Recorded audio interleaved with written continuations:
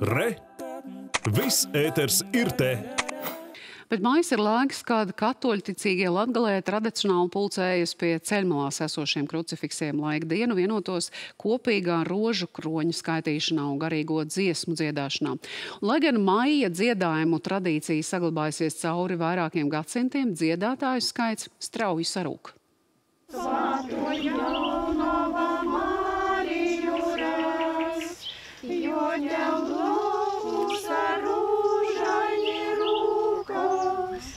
Šogad maija dziedājumi pie Rēzeknes novada bumbišku krucifiksa notiek pacelātākā gaisotnē kā citās reizēs.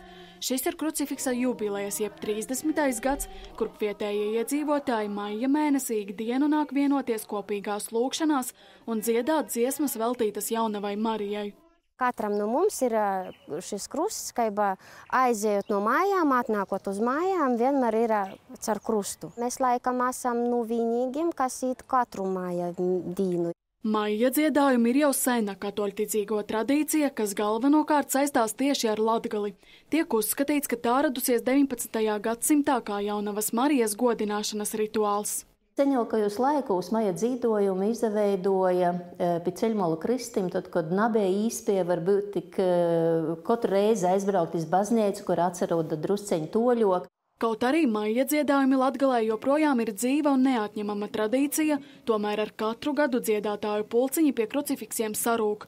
Lai šī tradīcija neizzustu pavisam, Kopš 2019. gada nemateriālā kultūras mantojuma sarakstā ir iekļauti maija dievkalpojumi pie ceļmalu krustiem Dagdas novada Antrupenes un Šķaunes pagastos.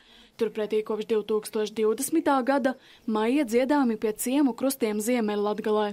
Šobrīd eh, šis risks ir vēl lielāks, dēļ to, ka tradīcija apdraud ne tikai jaunotnes trūkums, bet apdraud arī eh, ļoti straujo depopulāciju mūsu cīmūs. Lai arī maija dziedājumu tradīcija ir pievērsta pētnieku vērība, liela nozīme ir tā saglabāšanai ģimenēs.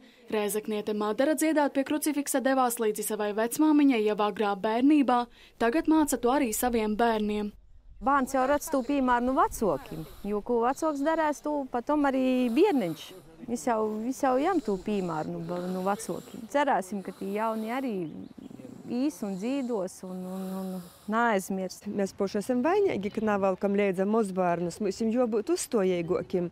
Šobrīd Ziemeļlatgalē dokumentēti vairāk nekā 120 krucifiksi, bet dziedājumi noris vien pie puses no tiem. Tāpat šaipus ir pieteikti arī 209 meistari, kuri aktīvi piekop maija dziedājumu tradīciju un ir gatavi to nodot arī tālāk.